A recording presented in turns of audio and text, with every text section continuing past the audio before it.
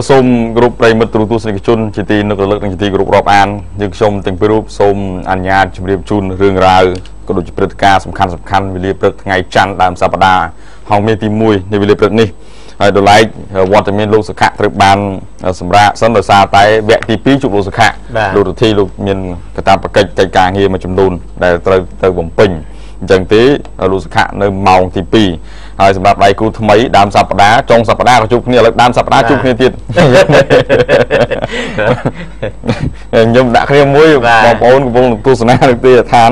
បាទពិតទៅតិចទៀតនឹងមានពេលវេលាជួបគ្នារាល់ថ្ងៃញឹកញាប់មកបាទចាប់ថ្ងៃណាទៅមើលអាចរំលឹកបានទេថ្ងៃទី1ខែមករាឆ្នាំ2016បាទថ្ងៃទី1ខែមករាឆ្នាំ2016យើងខ្ញុំទាំងពីរនាក់នឹងចាប់ដៃគូជាមួយគ្នាដើម្បីសហការគ្នារីករាយហើយផ្ដល់ជូនព័ត៌មានសំខាន់សំខាន់ពាក់ព័ន្ធទៅនឹងការវិវត្តនៅក្នុងប្រទេសជម្រាបជូនដល់អស់លោកអ្នក វេលាដំបូងនេះសូមអនុញ្ញាតជម្រាបជូនដល់លោករដ្ឋរឿងរ៉ាវមួយ នៅក្នុងខេត្តកណ្ដាលនិយាយពីកម្មករជាង200នាក់លោកទៀមទាតវ៉ាឲ្យក្រុមហ៊ុនគោរពច្បាប់ការងារមិនទាន់ដឹងថាតើវាយ៉ាងម៉េចទេខ្លឹមសារឬក៏អត្ថន័យនោះសូមបកគលនីតិជូនលោករដ្ឋជម្រាបជូនព័ត៌មានពិស្ដារតែម្ដងបាទសូមជើញបាទអរគុណចាន់លោកបត្រាបាទគាត់តែចាប់ផ្ដើមភ្លាមហ្នឹង តវ៉ាតែម្ដង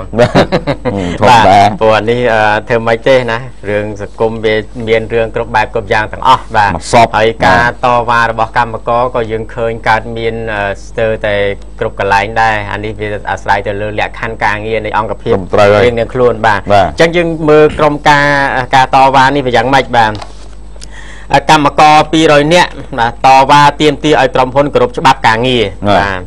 ក្រោយពីមានការធ្វើកតកម្មមិនអោយធ្វើការមិនចូលធ្វើការរយៈពេល5ថ្ងៃទើបរោងចក្រយល់ព្រមទទួលការទៀមទារបស់កម្មករដើម្បីបញ្ចប់វិវាទនិងចូលរួមធ្វើការជាធម្មតាបាទអូតវ៉ាដល់5ថ្ងៃបាទក្រុមកម្មករកម្មការិនីប្រមាណជាង200នាក់បម្រើការនៅសិប្បកម្មតម្បាញព្រែកឈឹមស្ថិតក្នុងភូមិកំពង់ស្វាយកណ្ដាលឃុំព្រែកថ្មីក្នុងស្រុកកោះធំខេត្តកណ្ដាល បាននាំគ្នាតវ៉ាទាមទារឲ្យក្រុមហ៊ុនផ្ដល់អត្ថប្រយោជន៍ទៅតាមច្បាប់ការងារតំណាងកម្មករឈ្មោះឈឿនសម្បត្តិបានឲ្យដឹងនៅក្នុងការតវ៉ាកាលពីចុងសប្តាហ៍ទៅនេះថាក្រោយពីក្រសួងការងារបានផ្ដល់សេចក្តីសម្រេចផ្ដល់ប្រាក់ខែគោលបន្ថែមទៅដល់កម្មករទូទាំងប្រទេសចាប់ពីថ្ងៃទី1ខែមករាឆ្នាំ2016ខាងមុខនេះទៅ បែជាប្រធានសិប្បកម្មតម្បាញខាងលើប្រកាសមិនផ្ដល់អត្ថប្រយោជន៍ផ្សេងផ្សេងទៅតាមច្បាប់ការងារទៅវិញអូអានេះក៏អាងទៅក្រសួងហើយណាក្រសួងមានច្បាប់ចេះចេះតែកន្លែងសិប្បកម្មអត់ផ្ដល់បាទតំណាងកម្មករអះអាងថាពួកគាត់បានចាប់តវ៉ាទាមទារប្រាក់អត្ថប្រយោជន៍ខាងលើ ចាប់ពីថ្ងៃទី21ខែធ្នូឆ្នាំ2015មកម្លេះប៉ុន្តែគេមិនទាន់ឃើញអាជ្ញាធរពាក់ព័ន្ធជួយរកដំណោះស្រាយខាងលើនេះទេទើបពួកគាត់ ធ្វើការតវ៉ាជាបន្តបន្ទាប់បាទពួកគាត់អះអាងថាការទៀមទាមានលក្ខខណ្ឌទាំងអស់12ចំណុចប៉ុន្តែចំណុចសំខាន់សំខាន់គឺសុំឲ្យផ្ដល់ប្រាក់បន្ថែមសម្រាប់ការងារធ្វើការបន្ថែមម៉ោងនៅថ្ងៃអាទិត្យព្រមទាំងនៅថ្ងៃបុណ្យជាតិផ្សេងផ្សេងបាទប៉ុន្តែភាគីតំណាងរោងចក្រមិនបានអើពើចេញមកមកដោះស្រាយជាមួយកម្មករនោះទេ គឺម្នាក់ម្នាក់ឆ្លើយដាក់គ្នាយកយក យករួចខ្លួនបាទយករួចខ្លួនអានអសអត់ចង់ត្រូវបាទជ្រុលពីងាកអីបាទអេងាកជ្រុលបាទតោះតោះជើញបាទចឹងរឿងហ្នឹងខាងហងមាសយើងក៏បានតាក់ទងដែរក្រោយពីមានការតវ៉ាក៏ហៅតំណាងកម្មករចូលមកដោះស្រាយតវ៉ានៅករណីខាងលើហ្នឹងបាទមិនបាទហើយលោកថាលោកចាមចរិត បាទជំនួយការរដ្ឋបាលក្នុងសិប្បកម្មតម្បាញខាងលើ បានឲ្យដឹងតាមទូរស័ព្ទថាទីតាំងខាងលើនេះពុំមានកម្មករបាទពុំមែនជារោងចក្រទេគ្រាន់តែជាសិប្បកម្មតម្បាញតែប៉ុណ្ណោះនឹងមានកម្មករកម្មការនេះបម្រើការងារជាង400នាក់ហើយក្រោយពីមានជំនួបដំណោះស្រាយរវាងនយោជិកនយោជកនិងតំណាងកម្មកររួមទាំងថ្នាក់ដឹកនាំសហជីពផងនោះ គឺបានឈានដល់ការព្រមព្រៀងគ្នាហើយថា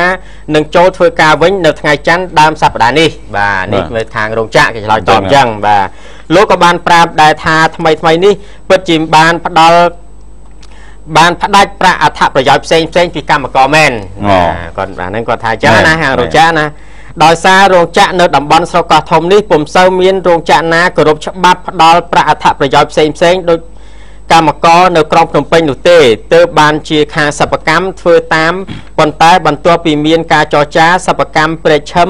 បានទទួលយកសំណូមពរពីកម្មករវិញបាទចង់និយាយថាមានរោងចក្រច្រើនដែរដែលអត់មានអឺគ្រប់អញ្ចឹងហើយគាត់ត្រឹមជាសិប្បកម្មអញ្ចឹងគាត់ក៏អនុវត្តតាមបែបរោងចក្របាទ តែតាមពិតទៅអឺកន្លែងតំបន់នឹងធ្វើមិនមិនដឹងទេប៉ុន្តែសំខាន់អឺនៅក្នុងក្រសួងគឺគេមានការអនុម័តរួចទៅហើយបាទនៅធម្មតាមានភ្លើងមានផ្សែងហើយហើយបើមិនមានបញ្ហាក៏មិនតវ៉ាទេខ្ញុំជឿជាក់អញ្ចឹងតែទន្ទឹមនឹងការតវ៉ាសូមធ្វើយ៉ាងម៉េច ទៅតាមគេហៅថាលក្ខខណ្ឌការងារហើយទៅតាមច្បាប់ដែលអ្វីដែលយើងថាធ្វើបាតកម្មអីត្រឹមត្រូវដែលគេហៅថាអហិង្សាបើសិនជាមានហិង្សានឹងវារឿងមួយផ្សេងទៀតដែលខាងកម្លាំងជំនាញលោកនឹងចាត់ចែងហើយបាទយើងក៏ចូលរួមអឺសប្បាយជាមួយកម្មករដែរក្រោយពីគាត់តវ៉ាខាងសិប្បកម្មក៏គាត់យល់ព្រមផ្ដល់ទៅដាក់ទៅតាមលក្ខខណ្ឌដូចដើមប្រកាសហើយបាទបាទអរគុណឥឡូវសូមអនុញ្ញាតបិទបញ្ចប់រឿងទៅត្រឹមហ្នឹងចុះទៅកាន់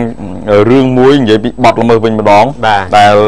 និយាយពាក់ព័ន្ធទៅនឹងគ្រឿងញៀនមិនមែនបទល្មើសទេអឺនៅក្នុងសង្គមយើងទេបាទអឺជនសង្ស័យ9នាក់ត្រូវបានសមត្ថកិច្ចឃាត់ខ្លួនជាបន្តបន្ទាប់ គ្រាដែលដំបងឡើយគេចាប់បាន2នាក់ហើយឆ្លើយដាក់គ្នាបន្តរហូតទៅដល់មានការកំណត់មុខសញ្ញា7នាក់ផ្សេងទៀតបាទហើយការឃាត់ខ្លួននេះគឺនៅក្នុងស្រុកមុខកំពូលទៅហ្មងហើយកាលពីចុងសប្តាហ៍កន្លងទៅនឹងកម្លាំងនគរបាលស្រុកមុខកំពូលបានបើកប្រតិបត្តិការបង្ក្រាបមុខសញ្ញាចែកចាយនិងប្រើប្រាស់គ្រឿងញៀនដ៏សកម្មមកសបុកធំដោយឃាត់ខ្លួនជនសង្ស័យជួញដូរចំនួន2នាក់និងក្រុមអ្នកប្រើប្រាស់ចំនួន7នាក់ផ្សេងផ្សេងជាបន្តទៀតនិងដកហូតបានថ្នាំញៀនប្រភេទម៉ាតកក53កញ្ចប់ អូច្រើនគ្រាន់បើដែរហ្នឹងមកកញ្ចប់ធំរួមនឹងទូរស័ព្ទដៃ11គ្រឿងម៉ូតូ5គ្រឿងព្រមទាំងសម្ភារៈវិកញ្ចប់និងប្រើប្រាស់មួយចំនួនធំដែរហើយកម្លាំងអន្តរាគមន៍របស់អធិការដ្ឋានគោបាលស្រុកមុខកពូលវិញនៅថ្ងៃកន្លងទៅលោកបានឲ្យដឹងថានៅលើផ្លូវជាតិលេខ6ស្ថិតនៅក្នុងភូមិលើឃុំព្រែកអញ្ចាញហើយជនសង្ស័យទាំងពីរនាក់បានសារភាពថាពួកគេបានទិញថ្នាំញៀននេះ ពីឈ្មោះខនមករាហៅម៉ាត់បាទនៅក្នុងភូមិលើឃុំព្រែកអញ្ចាញក្នុងបំណងយកទៅប្រើប្រាស់ទេបាទអាប្រើប្រាស់ក៏នឹងវាជាប់នឹងពន្ធនាគារដែរអានឹងបាទវាស្អាតហើយវាអត់មានចែងណាឲ្យយកប្រើប្រាស់ទេតែនឹងបើសិនជាកិច្ចការងារមួយដែលគេយកទៅធ្វើលក្ខណៈទ្រង់ទ្រាយធំឬក៏អឺជាយកទៅពិសោធន៍អីផ្សេងៗអានឹងរឿងផ្សឹងបាទបាទហើយលុះមកដល់ម៉ោង7ព្រឹក បាទថ្ងៃ25កន្លងទៅនោះក៏បានស្វែងរកចាប់ឈ្មោះអឺសុខនរដ្ឋាហៅម៉ាត់និងបានបន្តឃាត់ខ្លួនឈ្មោះប៉ាងសុភា បន្តទៀតបាទដោយមានលក្ខណៈញៀនចំនួន53កញ្ចប់នៅក្នុងខ្លួនគេដែលក្នុងនោះគឺមាន52កញ្ចប់តូចនិងមួយកញ្ចប់ធំហើយក្រោយពីខាត់ខ្លួនបានមេខ្លោងទាំងពីរអានោះហើយអឺយោងតាមចម្លើយពីសមត្ថកិច្ចអឺលោកសាកសួរទៅលើជនសង្ស័យនោះអឺអ្នកនោះទាំងនោះបានលើកឡើងថាមាន5អ្នកទៀត បាទដែលកំពុងតែសមត្ថកិច្ចអឺកំណត់មុខសញ្ញាតាមចាប់ខ្លួនហើយប្រភពលោកបានលើកឡើងថា ជនសង្ស័យជួញដូរនឹងចែកចាយទាំងពីរអ្នកខាងលើនេះគឺជាមេខ្លោងចែកចាយដ៏សកម្មប្រចាំតំបន់ប៉ុន្តែដោយសារតែมันមានផោះតាងទឹកតាងបាទអឺតែឡៃកណាមួយដើម្បីដាក់កំណត់ឬក៏ចាប់គេអញ្ចឹងសមត្ថកិច្ចមិនអាចធ្វើឲ្យបានទេបាទយើងចាប់គេលុះត្រាតែយើងមានច្បាប់ឬក៏យើងគេហៅថាមានផោះតាងត្រឹមត្រូវយើងអាចចាប់គេបានបាទនឹងជាក់ស្ដែងអាហ្នឹងតោះតែមានគេហៅថាបើប្រព្រឹត្តជាក់ស្ដែងហ្នឹងយើងអាចចាប់ជាសាធារណៈបងប្អូនជីវរដ្ឋអាចចូលរួមចាប់បានដែរបាទប៉ុន្តែបើសិនជាមិនជាក់ស្ដែងប្រយោលអញ្ចឹងយើងក៏មានដីកាពីវិរិញ្ញាត្រឹមត្រូវ បាទអរគុណសូមអនុញ្ញាតជម្រាបបញ្ចប់តែប៉ុណ្្នឹងទេហើយសូមបកគលនីតិជួនលោករដ្ឋដោយសារតែពេលវេលាមកអំបោព័ត៌មាននេះគឺមានច្រើនបាទចង់ជាប់ចឹងមាត់យើងចូលរឿងមួយទៀតមិញរឿងឆ្នាំញៀនលោកបត្រាបាទបាទបាទឥឡូវយើងចូលមួយទៀតទៅខាត់ខ្លួនជនសង្ស័យជាមុខសញ្ញាវាយកញ្ចក់រថយន្តប៉ុស្តិ៍ណាមេប៉ុស្តិ៍យកកំភ្លើងបាញ់រះ15គ្រាប់អាវាយកញ្ចក់រថយន្តយកកំភ្លើងបាទវាយកញ្ចក់រថយន្តហើយយកកំភ្លើងមកបាញ់ទៀតខ្លាំងទៀតហៅដែរតាតែមានសាហាយគឺខ្លាំងមកជើញបាទ ជនសង្ស័យម្នាក់ឈ្មោះកែវរតនាភេទប្រុសអាយុ26ឆ្នាំរស់នៅភូមិទួលពងរឃុំទំនប់ដាច់ស្រុកតាពាំងប្រាសាទខេត្តឧត្តរមានជ័យត្រូវបានកម្លាំងនគរបាលស្រុកសហការជាមួយកម្លាំងនគរបាលព្រំដែន905និងកម្លាំងសមត្ថកិច្ចចម្រោះពាត់ចាប់កាលពីម៉ោង9ថ្ងៃទី26ធ្នូបាទបាទបន្ទាប់ពីបានវាយកញ្ចក់រថយន្តមេប៉ុស្តិ៍ទំនប់ដាច់អឺចូលយកកំភ្លើងបាញ់រះចំនួន15គ្រាប់នេះផឹងមកវាបាទកញ្ចក់អេសាហាវដែរតានោះ ក្នុងករណីហ្នឹងបពពួករបស់ខ្លួនពីរនាក់ទៀតគាត់ចាប់បានទេកាលពីម៉ោង1រំលងអាត្រៀតចូលថ្ងៃទី26បាទបាទចាប់បានពេលខុសគ្នាណាក្នុងពេលពួកគេទាំង3នាក់កំពុងធ្វើសកម្មភាពលួចឈើប្រណិតមួយសន្លឹកប្រវែង1.6ម៉ែត្រគុណនឹង0.5ម៉ែត្រនិងថ្នាំញៀនប្រភេទម៉ាតកកចំនួន2កញ្ចប់តូចអូអានេះមានថ្នាំញៀនដែរយេអូមើលទៅប្រតិបត្តិការក៏មានបានគេសឿងមានបាញ់តបតតាមការរៀបរាប់របស់មន្ត្រីនគរបាលស្រុកត្រពាំងប្រាសាទយកព្រមណាបានឲ្យដឹងថាមុនពេលឈានដល់ការចាប់ខ្លួនជនសង្ស័យទាំង3នាក់ដែលជាមុខសញ្ញាសកម្មនោះកាលពីយប់ថ្ងៃទី15ខែធ្នូ2015 បានទទួលដំណឹងពីប្រជាពលរដ្ឋថាមានចៅ3នាក់បានកំពុងលួចឈើប្រណិតនិងមានចែកចាយគ្រឿងញៀនផងដែរបាទពេលនោះកម្លាំងនគរបាលស្រុកបានសហការជាមួយកម្លាំងនគរបាលព្រំដែន905និងកម្លាំងចម្រុះបានចុះល្បាតនិងតាមដានរហូតដល់ឃើញមុខសញ្ញា3នាក់មែនហើយក៏ពាត់ចាប់បាន2នាក់ទី1ឈ្មោះជាបូរាភេទប្រុសអាយុ21ឆ្នាំ ចំណែកទី2នេះឈ្មោះញ៉ាវវិរៈឈ្មោះគាត់បរោះតាភេទប្រុសអាយុ23ឆ្នាំនិងអ្នក អ្នកទាំងពីរមានទីលំនៅក្នុងឃុំទំនប់ដាច់ស្រុកត្រពាំងប្រាសាទខេត្តឧត្តរមានជ័យព្រមទាំងម៉ូតូមួយគ្រឿងទូរស័ព្ទដៃ3គ្រឿងនិងថ្នាំញៀន2កញ្ចប់តូច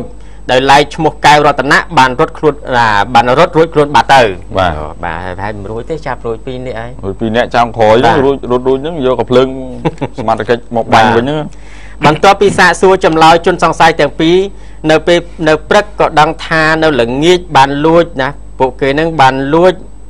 ស្អីគេណា solar ណា đó បាទគេមើលបាទមើល solar ប្រជាពលរដ្ឋណានៅភូមិអូត្រាំងប៉ោង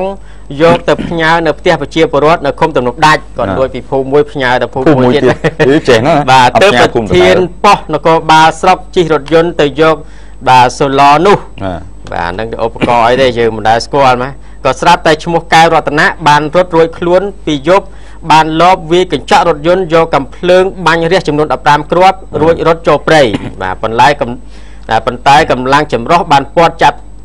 បាននៅបន្ទាប់ពីថ្ងៃដដែលនោះបាទតែបន្ទាប់ពីថ្ងៃបន្តបន្ទាប់នេះចាប់ចាប់បានបន្តដែរទៅបាទនឹងបញ្ជូនសង្ស័យទាំង3នាក់ ទៅស្នងការនគរបាលខេត្តឧត្តរមានជ័យដើម្បីចាត់ការទៅតាមច្បាប់ណានឹងបាទទុកឲ្យរឿងហ្នឹងសមត្ថកិច្ចចាត់ការយ៉ាងម៉េចយ៉ាងម៉េចទុកឲ្យគាត់ទៅចុះបាទគឺគាត់សុំសរសើរចេះកេះកៃអីទៀតណាប៉ុន្តែអ្វីដែលសំខាន់អេគឺអត់មានការបង្កគ្រោះថ្នាក់ដល់អឺ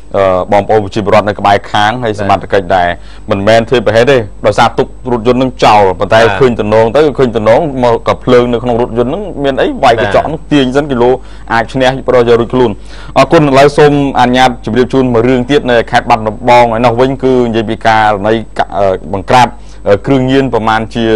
ជិត1គីឡូក្រាមនៅខេត្តបាត់ដំបងបាទម្សិលមិញនេះគឺអឺលោកវរៈស្នីត្រីអឺសៀនសុណាល់ដែលជានាយការិយាល័យប្រឆាំងគ្រឿងញៀនលោកបានប្រាប់អឺអ្នកសារព័ត៌មានហងមាសដឹងថា ជនសង្ស័យនេះគឺមានគ្នា4នាក់ជាមុខសញ្ញាចាស់និងធ្លាប់ជាប់ពន្ធនាគារច្រើនលើកច្រើនសារមកហើយអឺពេលចេញមកវិញពួកគេធ្វើសកម្មភាពជួញដូរគ្រឿងញៀននឹងដដែលហើយដដែលទៀតហើយការជួញដូររបស់ពួកគេតែងតែធ្វើនៅពេលយប់ក្នុងមូលដ្ឋានយ៉ាងសកម្មហើយពួកគេទាំង4នាក់ហ្នឹងគឺចាប់ខ្លួនករណីអឺក្នុងករណីអឺពីរផ្សេងគ្នាជាបន្តបន្ទាប់ក្នុងថ្ងៃតែមួយបាទចំណុចខ្លះពីរផ្សេងគ្នាហ្នឹងអឺលោកបានបន្តថាករណីពីរផ្សេងគ្នាហ្នឹងទី1គឺអឺអឺថ្ងៃកន្លងទៅ បាទអឺលោកបានលើកឡើងថាកម្លាំងអឺសមត្ថកិច្ចឃាត់ខ្លួនបានជនសង្ស័យទី1ឈ្មោះហេងសុជាតិបាទអាយុ27ឆ្នាំមានទីលំនៅក្នុងភូមិព្រែកមហាទេពសង្កាត់អឺស្វាយប៉ោក្រុងបាត់ដំបងហើយក្រោយការឃាត់ខ្លួននឹងរឹបអូសវត្ថុតាងថ្នាំញៀនមេតាំវីតាមីនម៉ាតកកចំនួន2កូនថងទម្ងន់អឺ0.53ក្រាមទូរស័ព្ទមួយគ្រឿងអឺថង់ច្រកថ្នាំញៀន20 បាទហើយលោកថាយោងតាមចម្លើយសារភាពកម្លាំងឈានដល់ការកំណត់មុខសញ្ញាចាប់ខ្លួនជនសង្ស័យ2នាក់ទៀតបាទនៅយប់ថ្ងៃដដែលហើយត្រង់ចំណុចការ៉ាសាំងក្បែររង្វង់មូលដៃ8ភូមិផ្កាអឺអេភូមិផ្កាសាលាសង្កាត់សំការសំរោងក្រុងបាត់ដំបងហើយឈ្មោះក្រូចគឹមលេងហៅទូចអាយុ24ឆ្នាំទី2ឈ្មោះហួនគឹមហ៊ុយហៅលាក់ ជានារីទេអាយុ18ឆ្នាំទាំងពីរនាក់ហ្នឹងមានទីលំនៅក្នុងភូមិជ្រៃកោងសង្កាត់ចំការសំរោងក្រុងបាត់ដំបងរឹបអូសបានថ្នាំញៀនមេតាំវីតាមីនមួយកូនថងទម្ងន់46ក្រាមហើយលោកថានៅល្ងាចថ្ងៃដដែលក៏បន្តទៅចាប់ឮមានព័ត៌មានសម្ងាត់មួយទៀតថានៅចាប់ជនសង្ស័យ4នាក់ផ្សេងទៀតគឺរៀបរាប់ឲ្យច្រើនពេកមិនបាច់រៀបរាប់ទៅឆ្ងាយទេបាទក្នុងនោះគឺអឺ ចាប់បាននៅក្នុងសង្កាត់រតនៈក្រុងបាត់ដំបងបទល្មើសជាក់ស្ដែងការជួញដូរខុសច្បាប់សារធាតុញៀននេះគឺក្រោយការចាប់ខ្លួននោះគឺមានរហូតទៅដល់អឺថ្នាំញៀន11កញ្ចប់តូចនិងធំបាទហើយសរុបនោះគឺមានទម្ងន់ប្រមាណជា88ក្រាមជាងវាជិត1គីឡូបាទ1គីឡូក្រាមអឺគ្រឿងញៀនបាទអញ្ចឹងទេមានអឺ ទូរស័ព្ទដៃមានកត្រៃមានកបោកមានទយោជក់ថ្នាំហើយថង់សម្រាប់រំលែកវែកខ្ចប់អីរបស់គេមួយចំនួនធំហើយបច្ចុប្បន្នគឺត្រូវបានសមត្ថកិច្ចលោកចាប់បញ្ជូនទៅកាន់ស្នងការបន្ថែមទៀតដើម្បីសួរនាំទៅតាមនីតិវិធីបាទសូមអរគុណសូមអនុញ្ញាតបញ្ចប់រឿងរ៉ាវទៅត្រឹមវគ្គទី1និងបឋមសិនវគ្គក្រោយនឹងជម្រាបជូនរឿងរ៉ាវពិស្ដារបន្ថែមទៀតនៅដែលលោកអ្នកកំពុងតាមតាមទស្សនាបាទ